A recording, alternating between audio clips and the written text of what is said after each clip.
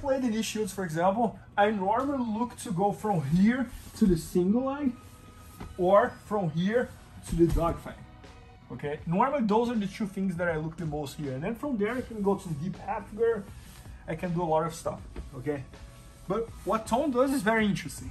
So instead of going to the single leg, instead of going to the dog fight, he goes higher than that. He pretends he's going to the dogfight, but in reality, he wants to come here. He wants to place this hand on his opponent's shoulder.